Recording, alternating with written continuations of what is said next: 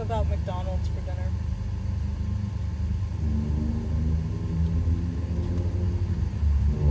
I'm just throwing it out there because uh, we're gonna pass by one on the way home, and I really don't want to make dinner. It's Sunny all day, and we decide to go on a walk, and I think it's gonna start raining. They're like, "Why do you start raining when we go on walks?" Customer dissatisfaction. Oh, here comes the rain. Da-da-da-da. Here comes the rain, and I say, damn it, why does it gotta start raining?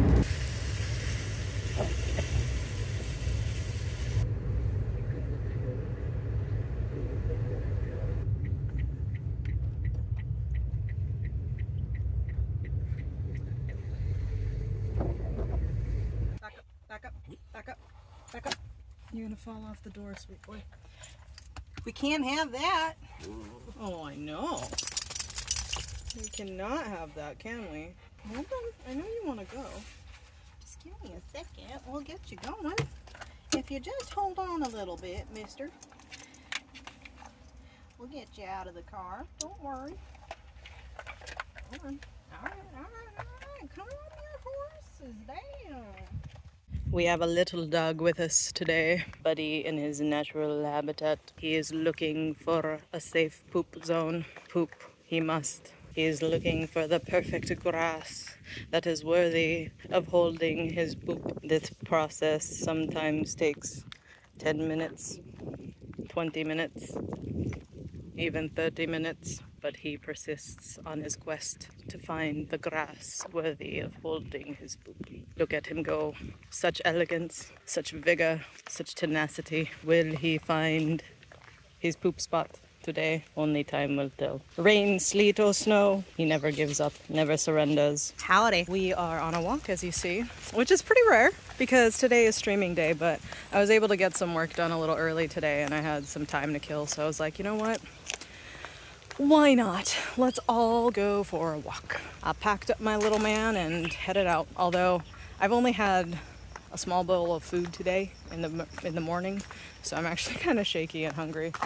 So I'm uh, I'm a little delirious. I forgot to eat. I always forget to eat. I did have a little protein bar, so hopefully that tides me over. But come on, sweet boy.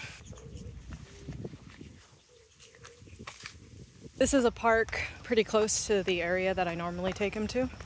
Um, this one isn't as close to any um, ocean. Well, there is an ocean, but it's it's where the commercial shipping dock is. However, over yonder, there's a little gazebo up on a little hill. My friends and I, when it's not so uh, hot outside, we'll come out here and hang a hammock on the gazebo. And all three of us, you know, we'll do a little picnic, picnic, picnic, picnic and stuff. This rain is a little bit more tolerable, but if it starts to rain too hard, I might have to pack it up.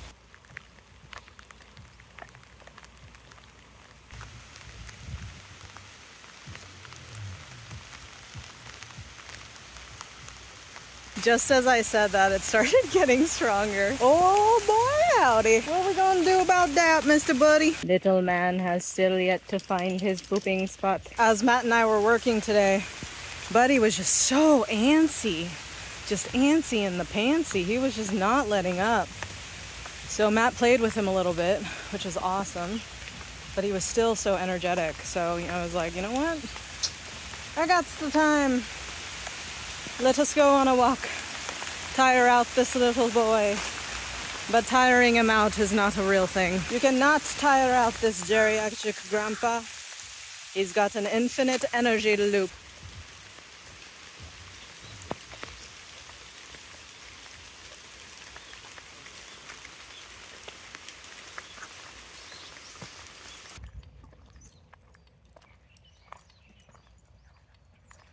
I think I remember talking about this once on the channel, but this is the foot massager thing that I was talking about. They embed a bunch of pebbles into concrete like this, and then you walk on this bare feet, and you're supposed to just go around in circles. This one's a little bit of a bigger one, but yeah, strengthen your feet, massage your feet. That guy back there is just sitting under the gazebo reading. And I'm like, reading? Where's his phone? Where's his switch? Where is his Steam Deck? Reading. So archaic. No, actually, it does uh, seem very peaceful. Right now, I'm uh, reading Shackleton's Adventure. It's called, well, the book's called South, but it's uh, about Shackleton's own account of his exploration of the Antarctic, or trying to get there, anyways. But uh, so far, it's really, really interesting. What are you doing?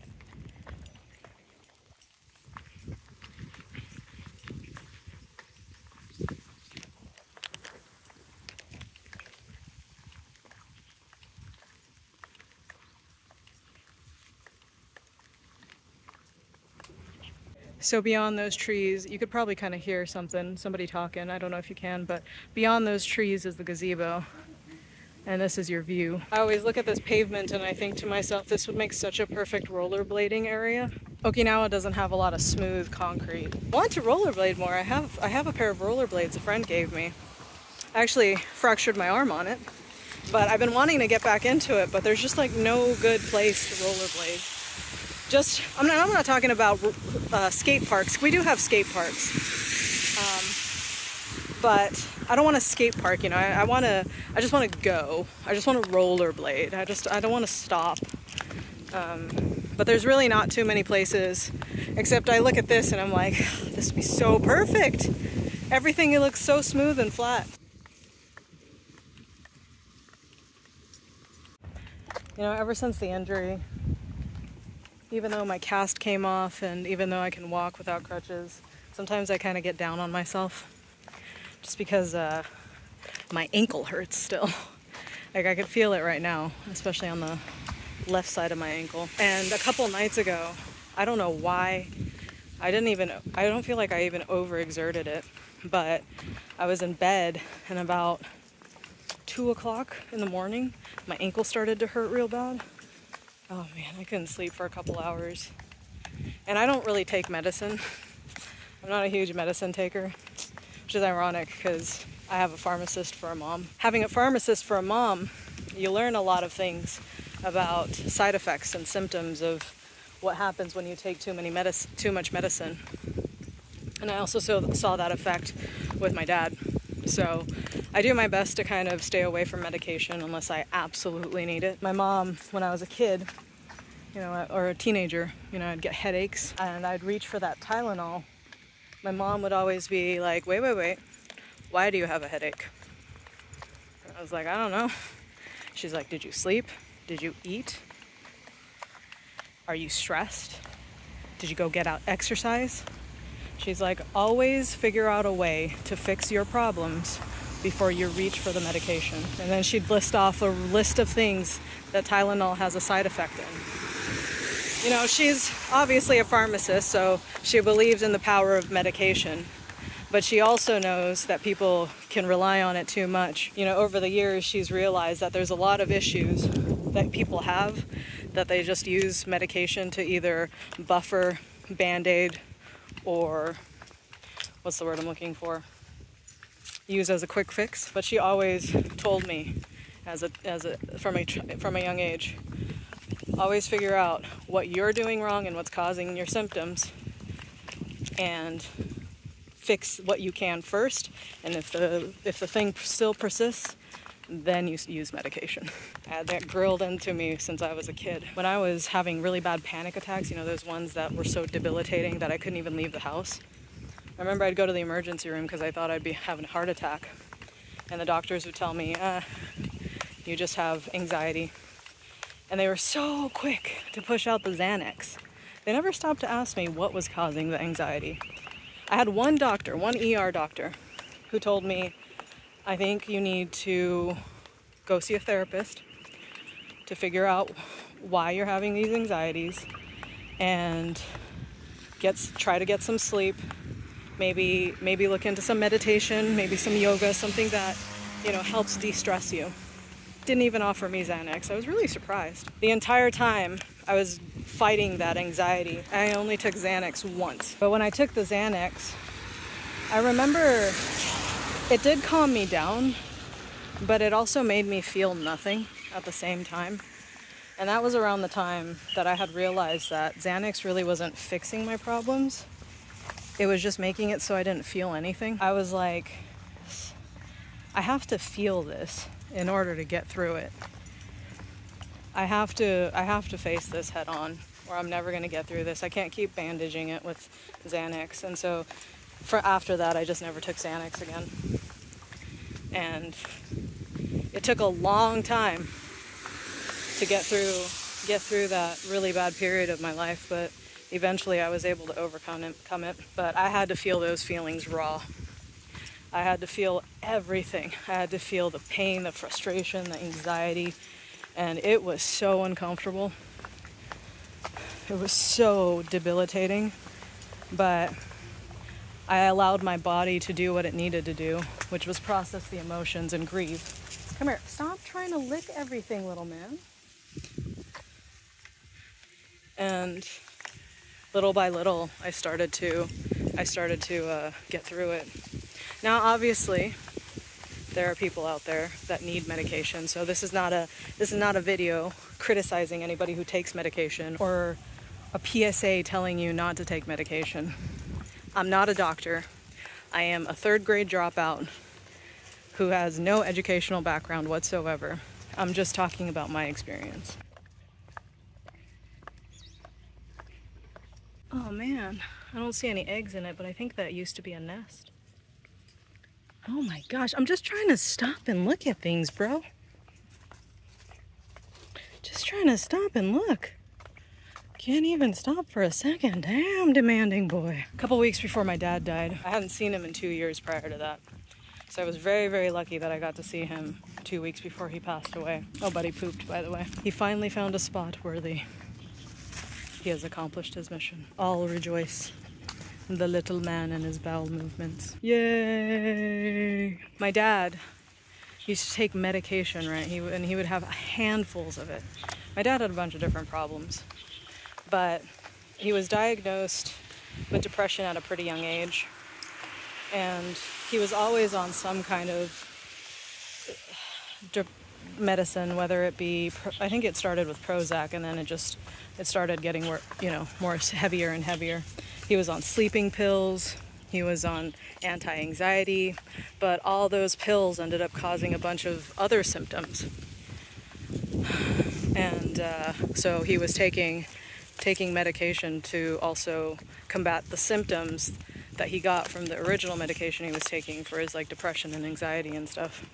And by the end of his life, he was taking pills morning and night, just handfuls. I, I remember him opening like 10 different bottles, all prescription. And I looked all of it up, and they were like, yeah, to this, if this is for this, this is for this, may cause this symptom. And then I was just like so blown away. This man was basically eating pills for morning and dinner. In that moment, I was just thinking to myself, oh man, like my mom was kind of right. I think we need to turn around, bub. We've kind of walked far from the car. Let's go back this way. Uh, we can go this way, bub. Let's cross the street. That way we get a little, you get to sniff something different. We actually walked pretty close to the zombie factory. Just kind of a distance. Oh my gosh, he's such a dirty boy. Do my eyes deceive me? Is that a trash can that nobody is actually using? What? It's like Japan never has public trash cans around, so when there is a trash can, people are like, I don't know what to do with this. I guess it goes here. And they just put it on the ground right next to the trash can. Silly, silly people. I feel like when I talk about this stuff, I have to be very, very careful. Because number one, I don't want people to stop taking the medication that doctors prescribe to them. Because, again, third grade dropout, not the smartest person in the world. Don't listen to me. I don't know your blood work. I don't know anything. This is not, uh, please stop taking your medication story.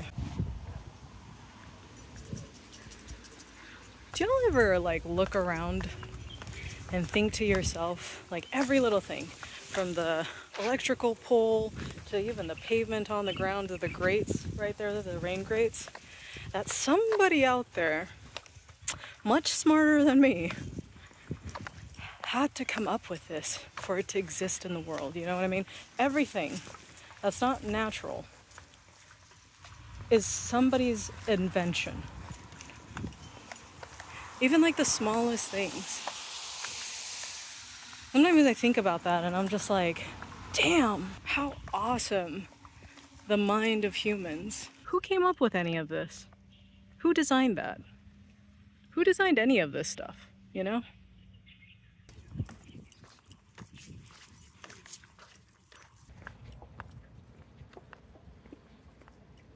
Actually, from here, you can kind of see the gazebo I was talking about. Buddy! I was trying to show you guys and Buddy was like, no, you cannot show them our secret. So, no gazebo for you guys. But I just called Matt and he said yes to McDonald's.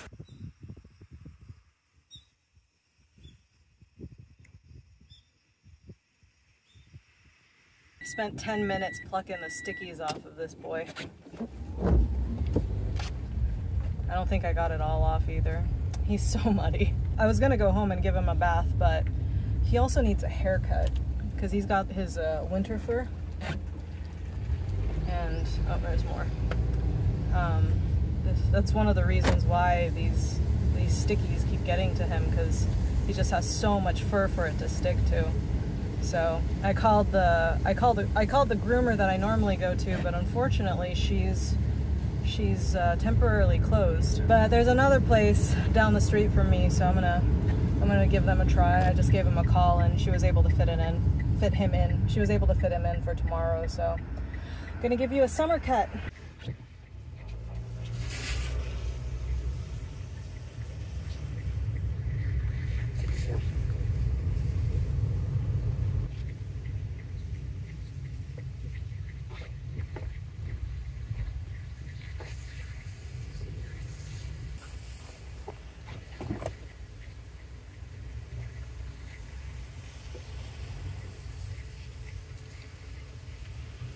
いらっしゃいませ。こんばんは。ご注文お伺いします。はい、えっとビッグマックセット一つ。はい、ビッグマックのセットがお一つ。はい、そしてポテトフライじゃなくて、えーっとあのチキンナゲットはい、ナゲットで。でソースはバーベキュはい、バーベキューですー、ね。で飲み物はコカ・コーラ、はい、コカ・コーラで。そして私はえーっとこのチーズ月見、はい、えーっとセットで同じくあのポテトじゃなくてナゲット？はい。そして同じく飲み物はコカ・コーラの L サイズ。コカ・コーラ L でいいですか、はい、ありがとうございます。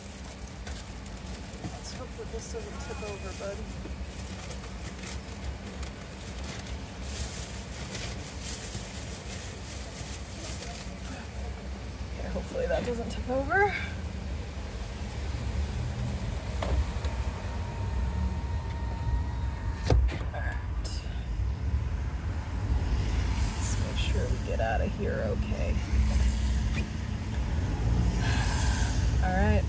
McDonald. I got my McDonald's. You know, I actually thought for a second that I should probably hide anytime I eat at McDonald's because I feel like as a quote unquote fitness channel, this is not not a good uh, what's the word I'm looking for? Like it's not a good uh, responsible thing to do. But this is the reality, right? Like some days, number one, you crave it, and second, and other days, you're just really busy or really tired, and you just want to knock out some food. And there's other things I could definitely go get, but this was on the way. It's convenient, and I don't know. I think sometimes these real the fitness channels that you see it's so hard to follow because you kind of watch their day to day and i think a lot of them do live that way you know where they're just very strict with themselves but i'm not a very strict person you know i'm not i'm not trying to get i'm not trying to lose weight fast. I'm not trying to be uber strict with myself. I'm not I'm not I'm not trying to be so uber constricted with my diet that you know, I uh I'm always trying to like fight fight oh oh sorry buddy that was a big jump. Fight for my meals or anything you know. Trying to figure out what to do and like stress over it because I feel like anxiety over food is also not healthy. Obviously like I've talked about it many times before it's an 80-20 thing. 80% of the time eat healthy eat conscious but the 20% of the time 10 to 20% of the time sometimes you got sometimes you do what you want to do or you got to do. And so I do feel like recently uh, Matt and I have been having a little bit more McDonald's than I think we really should be, but I'm not to beat myself over it. It's not something we do every single day. We actually eat at home most of the time, three meals a day, so I'm not so concerned about it.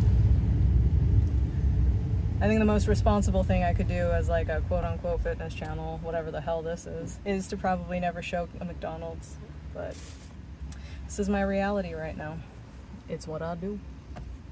And I just, I don't want you guys to be ashamed, you know, about getting a McDonald's or a Pizza Hut or eating at Tyson's oven baked chicken or Tyson's chicken tenders every once in a while. Like, it's just something you gotta do. You, some Sometimes it just happens.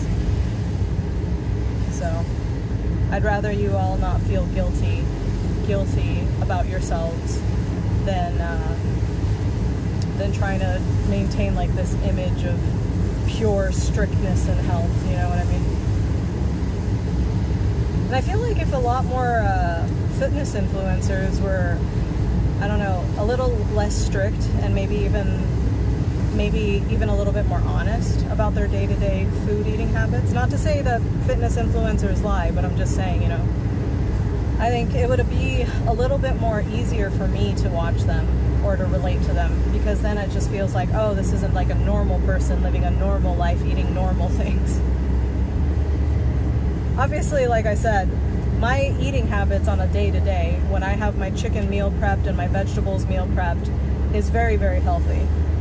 Um, I don't typically eat this stuff, but sometimes you do. Sometimes you just crave that little fizzy Coke, you know what I mean?